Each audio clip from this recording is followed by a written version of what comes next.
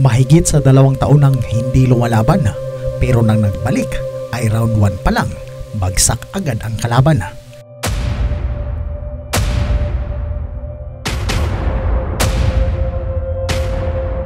Ganito ang eksenang iniwan sa Dubai ng ating alias El Guapito na kababayan. Ngayon nga ay muling nagbalik sa Dubai ang Pinoy at gumawa muli ng eksena na sa mata ng mga dayuhan ang pangyayari na ito ay tiyak hindi nila malilimutan.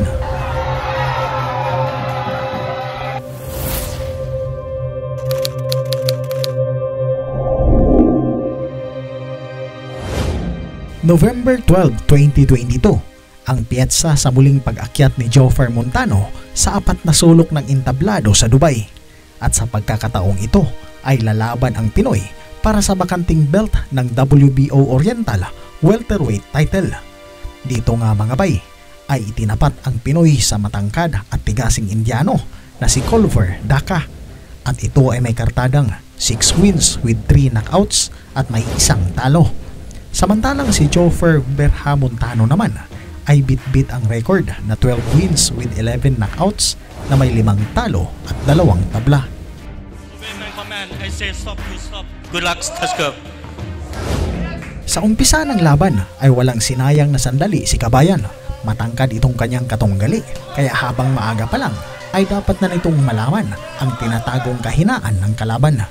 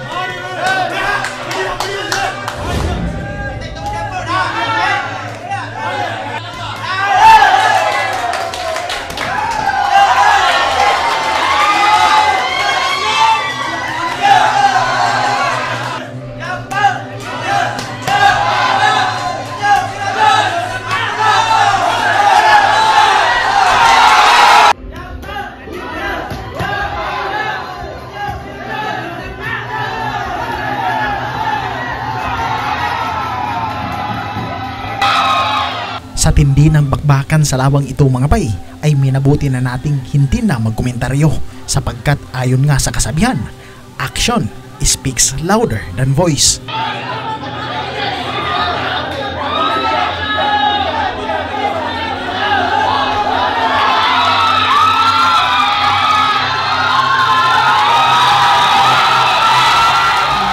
Panalong ito ni Joffer Montano mga bay ay isang malaking karangalan para sa bansang Pilipinas at sa bawat Pilipino na sa kahit gaano man kalaki ang hinaharap nating suliranin sa buhay ay kaya natin itong malampasan. Gaano man kalaki sa ngayon ang hinaharap mong problema sa buhay, alalahanin natin na may mas malaki tayong Diyos na nasa taas na siyang gumagabay sa ating pag-araw-araw. Maniwala tayo sa Kanya at manalangin. Amen. Daghang salamat mga bay at hanggang sa dulo ay hindi pa rin kayo bumibitaw. Nais ko pong malaman ninyong reaksyon sa ating video. Paki-comment na lang po sa baba at mabasahin po natin yan. Daghang salamat, mabuhay tayong lahat.